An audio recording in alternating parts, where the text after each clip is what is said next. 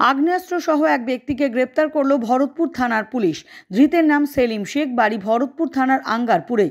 ভরতপুর থানার পুলিশ গোপন সূত্রে খবর পেয়ে ভরতপুর কিষাণ মান্ডির সামনে ওই ব্যক্তিকে সন্দেহজনকভাবে ঘোরাঘুরি করতে দেখেন। তাকে আটক করে তল্লাশি চালিয়ে তার কাছ থেকে একটি আগ্নেয়াস্ত্র ও গুলি উদ্ধার হয়। ধৃতকে সোমবার কান্দি মহকুমা আদালতে তোলা হবে।